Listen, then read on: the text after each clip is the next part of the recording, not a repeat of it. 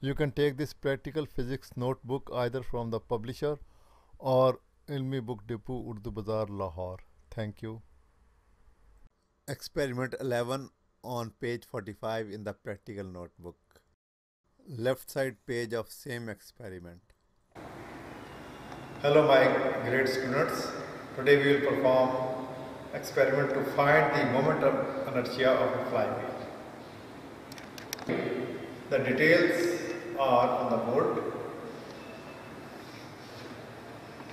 This is a flywheel and this is axle and this is thread and this is number of rotations of the thread then rotation of the wheel weight height from the ground and if we go theoretically on chart it is just like over here.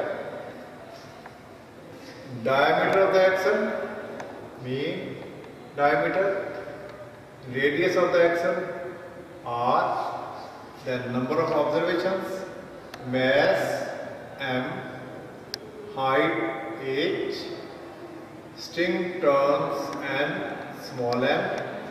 Rotation of the wheel capital N definitely mean value time taken by the rotations small t mean value.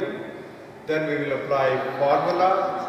Omega is equal to 4 pi capital N over t to get the value of omega. Then finally the value of i using this formula great formula which is in your book to find the value of i. So different factors in our table to find the value of i. First of all, axle. Axle is, this is axle. Then we have to find its diameter with the help of vernier caliper. Then its half, which will be radius. Then mass of the hanger then height from the ground, from the bottom of this weight up to floor, height h, then strings turns of the axle, number of turns of this thread on this axle, 1, 2, 3, 4, 5, 6, small n, then rotation of the wheel, capital N. In this way, 1, 2 rotation of the wheel, capital N, then time taken by these rotations. Then finally calculations and we will get final result. This is overall flywheel, wheel linked with this axle and this is on this axle we wrap this thread so we have to calculate its turns 1, 2, 3, 4, 5, 6 number of turns. Then this is weight. One weight is equal to 50 gram, 1, 2, 3 and also its hanger's weight altogether is 200. We have to vary different weights 150, 200 and so on. And this is stopwatch it depends upon which type of stopwatch you have and you have to check how to measure its time and finally this vernier caliper to find its diameter, finally its radius, then calculations. Now we will see its performance and after this performance, we will enter its values. So after wrapping this thing, slowly when we will lose, before that we have to find its height from here up to ground. Then as I release, so I have to count its rotation. One, two, three, not now. When we will listen uh, the voice of this, when it will be detached from here. Then we'll start.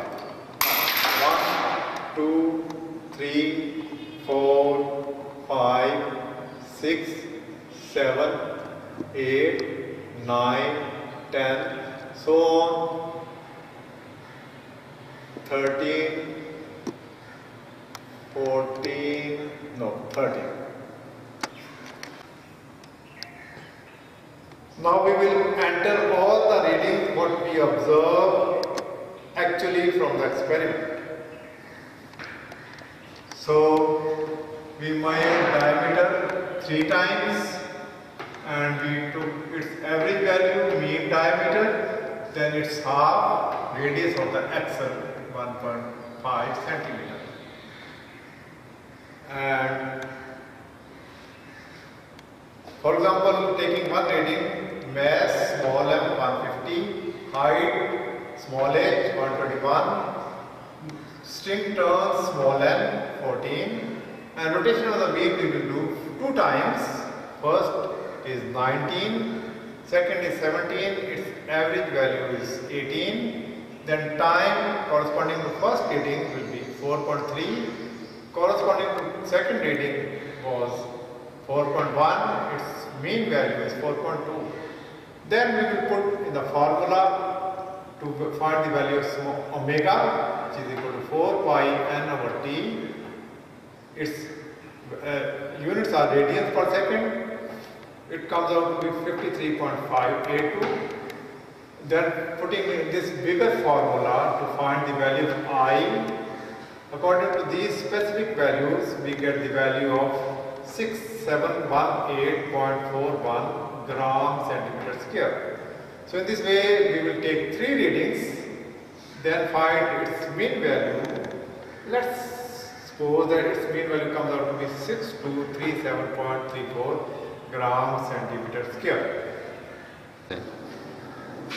So as far as its sources of error is concerned, we should measure its diameter very cautiously with our scientific hands or soft hand, not very tight, not very soft, in this way, two or three places. So we must be very careful about measuring its diameter with this caliper. Count, it should not overlap in this way.